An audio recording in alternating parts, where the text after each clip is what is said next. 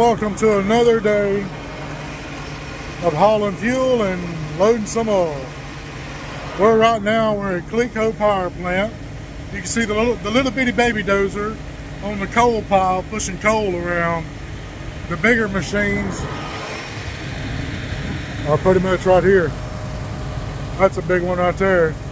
The other ones are in the shop over here in this little bay doors over here. That's what y'all see me doing this morning. I was at Alexandria loading rack, getting loaded with this uh, diesel, some dyed diesel for, of course, all their equipment around here. And um, we're unloading this dyed diesel, as you can tell. I got my suction running to my trailer back here. And then my discharge, we don't have discharges on our on our passenger side, I mean uh, the driver's side of the truck. So we gotta run the hose out and up underneath the truck to reach the tank on the other side. But we have the hose coming up underneath the truck and running over there, hooking up to their big dyed tank right here. So the agenda for today is we had this load of diesel here to flush the trailer back out and then we're going to leave here and we're going to go to Port Allen, Louisiana and we're going to go to Exxon Mobil, uh, the lube rack and we're going to get us another load of oil and we're going right back to Fort Worth. Back to Brenntag this time. Uh, Brenntag usually gets their oil out of Exxon because they, they, they're an Exxon authorized dealer. And Synergy where I was at yesterday they're Chevron. So anytime we go to Synergy it's usually out of Chevron or Conoco which is in Sulphur or anytime we go to Brenntag it's Exxon out of Port Allen Oh boy, is starting to get ready to move his piece of equipment here. That's a big old piece of equipment. He'll get back on the pile here in a minute and start pushing again like the little baby dozer's doing right over there. Just pushing, they, they's constantly pushing the pile, constantly pushing the pile, spreading that stuff out. Like I was saying though, we're possibly just gonna do that full shuffle for the rest of the week. It's my weekend off this weekend. I got one of my compartments just finished up. Hold on a minute. All right, anyway, sorry about that. Uh, compartment finished up on me. But, uh, yeah, I'm guessing we're going to do that weekend, um, that Fort Worth Shuffle this week. It is my weekend off this weekend. I didn't realize it. So, this Fort Worth load and then probably pull something down tomorrow after I unload at Fort Worth. That'll probably be my last last load for the week. Y'all can see that big one back here. There he is right there. And he's about to start pushing too. But anyways, uh, like I said, we're going to go down to Port Allen after we get done here. Hopefully they'll let me in early because my appointment's at 2 o'clock. So hopefully they'll let me in early because I'm going to be, I'm going to be, I'm going to be a little early. So I ain't getting one product, so I'm gonna load four compartments. And then once we get loaded, we're gonna get out of there and we're gonna hopefully make it all the way to Fort Worth by this evening. If I can get in and out of there, it'll probably be 10.30, 11.30 tonight before I stop uh, over there in Fort Worth.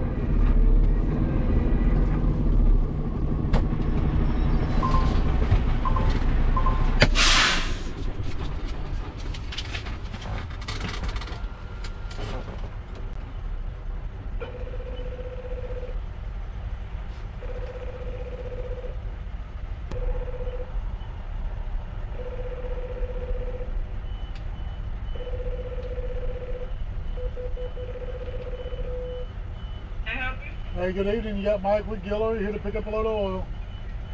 What's your pickup number? Pickup number 260-547-9068.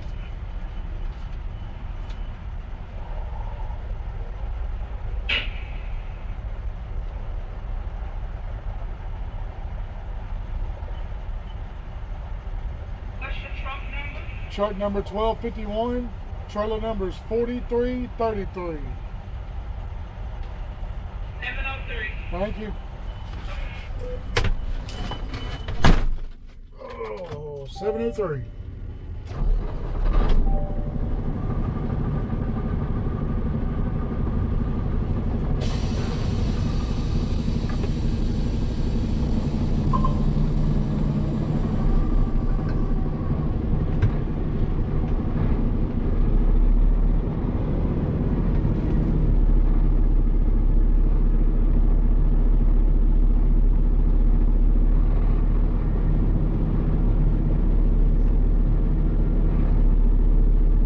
All right, y'all. We have made it down here to Port Allen uh, to Exxon to load. Y'all see me coming the gate and pretty much pulled right up on the lane. Uh, they had this truck that's right there in front of me. As soon as I pulled up behind him in the lane, they was pulling him off. So that's a pretty good sign. I'm hoping I'm not here but about a couple hours to get that split break in so I can have the time to go to Fort Worth. I do have enough time to make it all the way there this evening.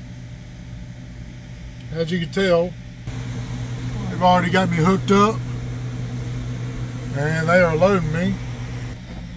Did y'all see the size difference in the uh, in them dozers over there? I think it was like the last clip I did before I started riding down the road again.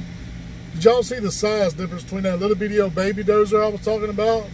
And I don't know how big that cat was, that big I'm gonna say it was about a D10, maybe a D12 dozer. Them things are huge. Them coal mining dozers, uh, coal mining equipment in general is huge compared to normal size stuff. Uh, on one of them clips, uh, where um, you had the little truck thing going around, the little big four wheel drive articulated thing. I don't know what they call that thing the one I was filming is actually, oh, excuse me, telling you, sitting around gets me tired. But the one I was filming was actually a guy that works here with us. He uh, he works part time with us. He works at the power plant, and then when he ain't busy at the power plant on his days off, because they have schedules, on his days off, I don't know what his schedules are. Just say it's a four on and three off or six on and four off or something like that. But anyways, on his days off, he actually drives and hauls fuel for us. Uh, like on the week, like on the weekends and stuff like that. So he actually works there at the power plant. It's pretty cool. Nice seeing him. He's a pretty good, pretty cool dude. But uh, like I said, we're sitting here getting loaded. It'll probably be a couple hours before we get out of here. I'm thinking about jumping back here with Bella. And taking me nap. Because Lord willing knows I'm going to need it.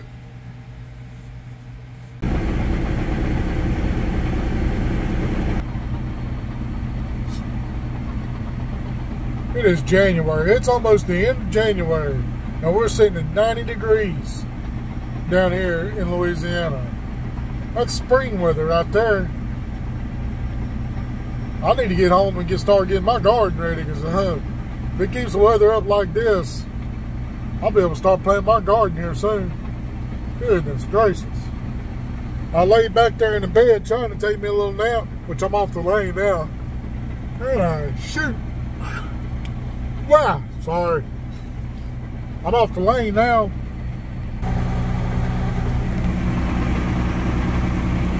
Just sitting here waiting for paperwork to get called, but it sure didn't take them long to get me loaded. That was the, probably the fastest, uh, fastest I've ever got loaded. I pulled on the rack about about 140-ish.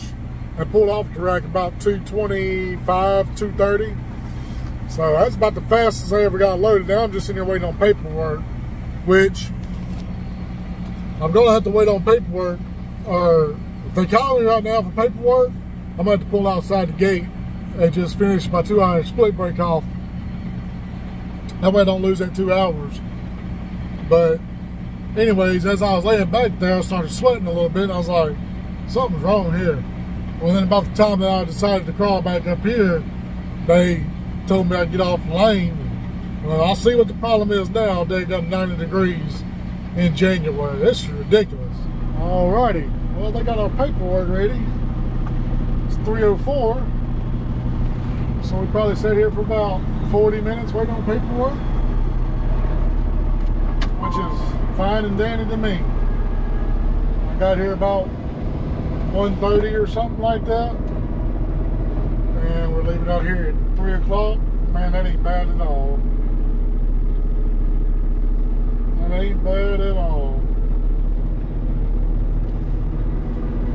Got my two hour split break in. Bella's back there sleeping, so we're not going to let her out. We're going to ride on and then we'll stop. I got to stop and get fuel. So I'll let her out then.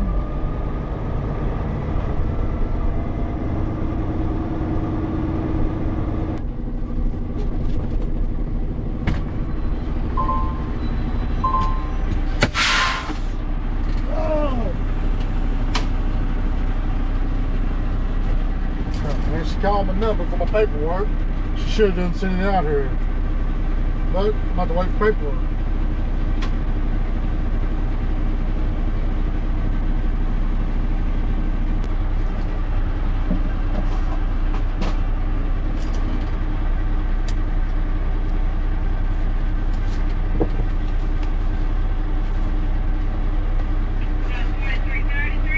Yes, ma'am. 4333.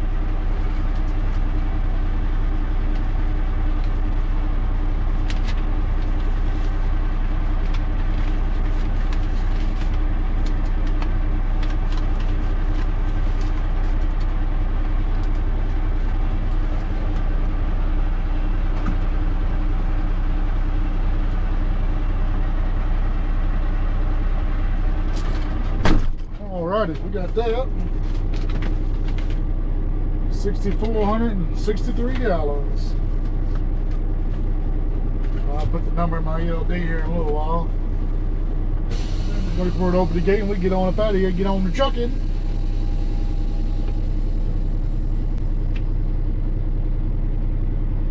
Come on, come on, come on.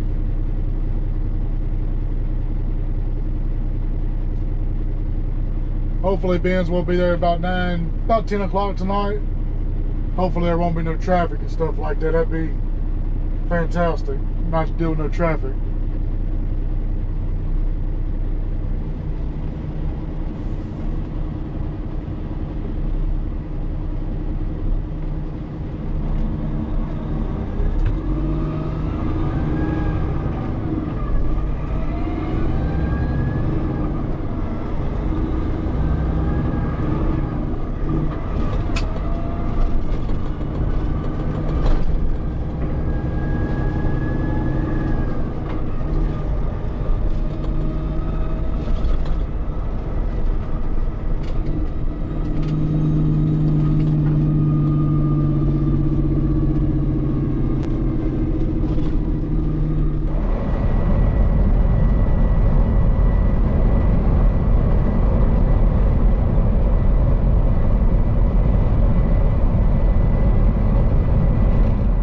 Alrighty, y'all. Decided to stop here at the old picker park at 33 off of 49. My tummy's starting to get a little hungry. So I figured I needed to go ahead and stop and eat supper and do all that stuff. That way I won't be so late tonight eating all that because I don't like to eat really, really late. It's not good for your for your diet. I got this new setup here that we're gonna try it out. Uh, for some reason, the thing I have before, my little grill, Walmart don't carry them no more. Don't even carry the gas for them anymore. So I had to buy this kit, this thing here, and it's base that come they come in the thing. And I just bought me a gas bottle that screws onto the gas bottle, and of course you know the rest. That's how you're gonna cook. So hopefully it works well because this will be my first night using it, our first day. It ain't nighttime yet. But I figured I'd stop, go ahead and eat, let Bella out the potty. Just go ahead and take a break real fast because like I said, I don't like I don't like eating too terribly late. So yeah. We'll get this done. Well Oh, that's real nice, real lovely. Real lovely, Michael. You gotta you gotta have a lighter to start it up. I don't have a lighter dummy. oh boy, boy, boy, boy, boy. What am I gonna do now? I reckon there ain't nothing else to do except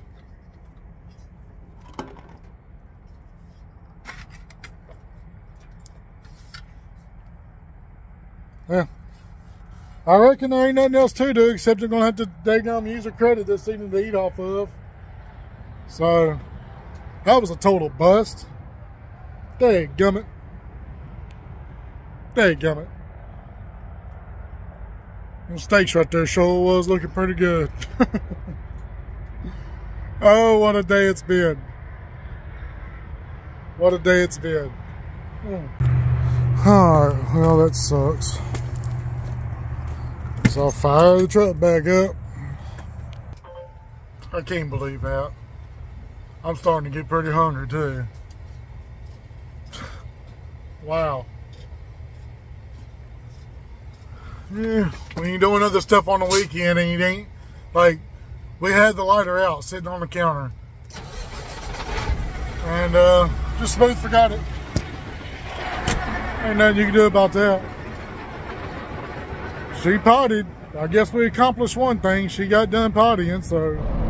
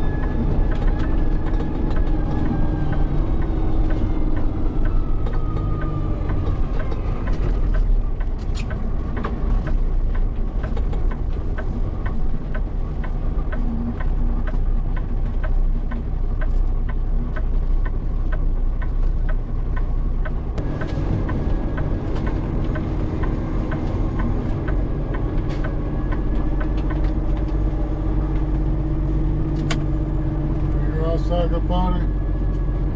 Huh? Let me get Back to over in this corner, we'll get out.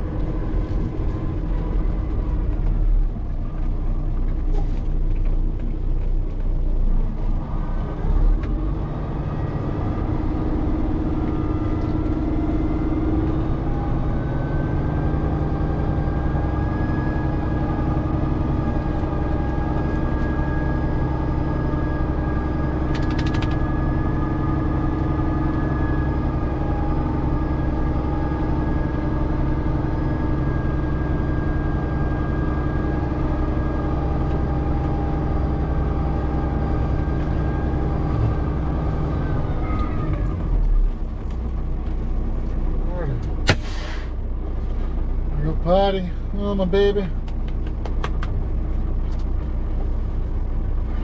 Shoot, man.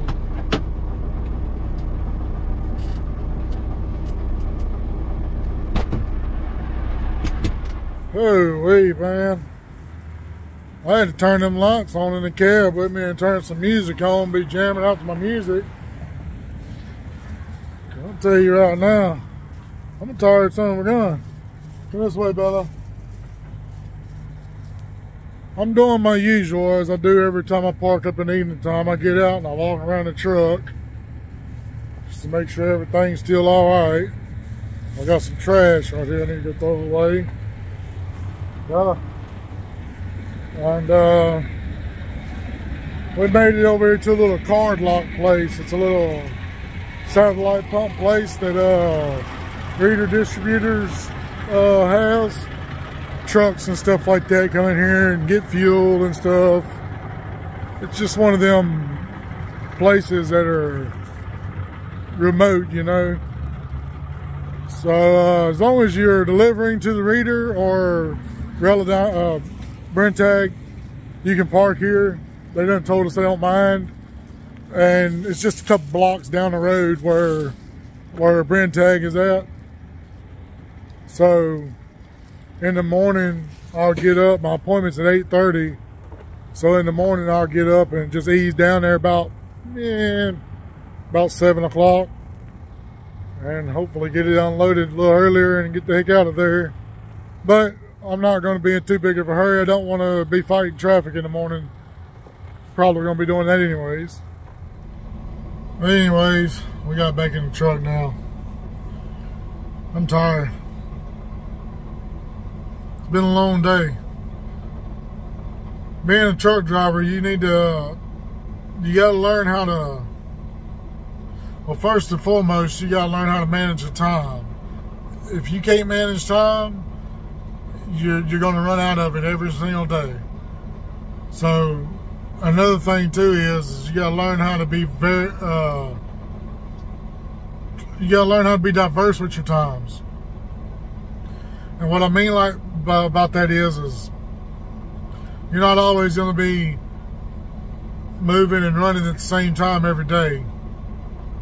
Personally, I like to get up about one o'clock in the morning and then be done about two o'clock in the evening, three o'clock in the evening, because I ain't got to worry about the truck stops uh, being full. I can always find a parking spot at that time. I don't like running in the evening times. I don't know why. I've just never been an evening person. I've always been a morning person. Once I'm up, I'm up. I'm ready to go. But in the evening time, once I start getting tired, that's a wrap. I'm getting, tired. I'm, I'm ready to shut down. This morning, I got up at 5 o'clock.